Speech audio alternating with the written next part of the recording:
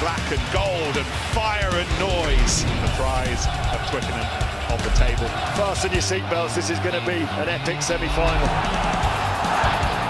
LaRue back to Beale and the superstars combine.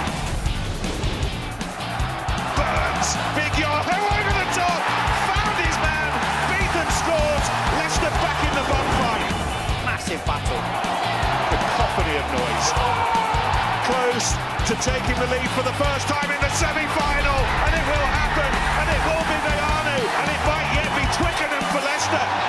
Nobody willing to take a backward step. Time is ticking away.